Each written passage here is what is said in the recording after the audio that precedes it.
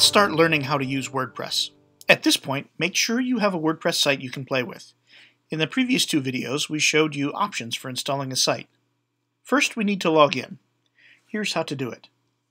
We want to go to slash wp-login.php on your site. You may find a link to that on your home page. Some themes set that up by default, but if it's not there, simply go to this address. And then put in the username and password that you created during your setup. You can optionally remember me. And if you can't remember your password, you can click Lost Your Password, and it will email you a link to reset your password.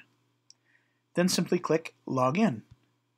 When you first log into WordPress, the first thing you see is the dashboard. And the dashboard is intended to give you an overlook of your entire site. The first box you see is called At a Glance. This will tell you how many posts you have, how many pages, and how many comments. If you have any unmoderated comments, or comments that need some attention, they'll also be listed here. It tells you what version of WordPress you're running, what theme you're running, and this is important. It says search engines discouraged. Normally that would be a bad thing. Since this is on my own machine, and I don't want Google to know about it yet, this is appropriate. But it's nice to know that it's there, because if this were your live site, you would want to change that quickly.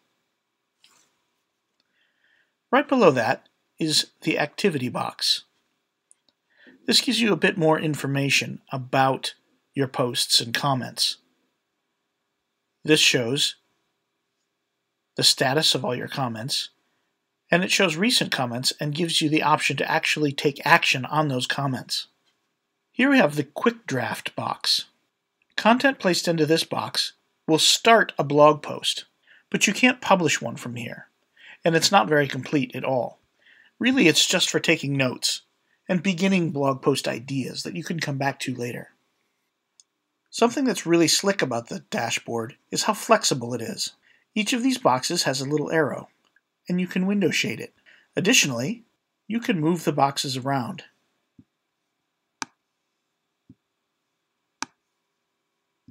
This is handy based on your needs and which ones you want to use.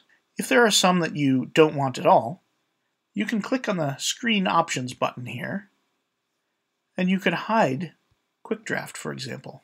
And you'll note that there are some others here that we didn't see before. This holds some WordPress news, it shows a popular plugin, and then there's a welcome screen.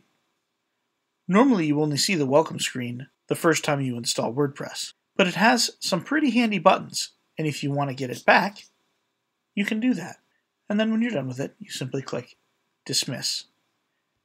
And all that does is uncheck this button. Each of these boxes is called a dashboard widget. And there are many plugins which install other dashboard widgets. For example, if you get an e-commerce plugin, you'll end up with a great big dashboard widget that shows you recent sales, trends in sales, most recently purchased items, and things like that. You can get statistics plugins that get information either from WordPress.com or Google Analytics and shows you your recent statistics right here in your dashboard.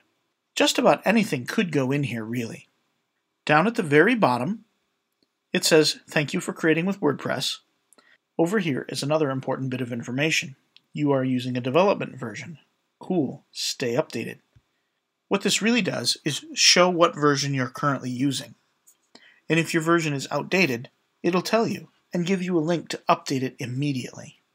The dashboard can be an extremely useful place to get information about the health of your website.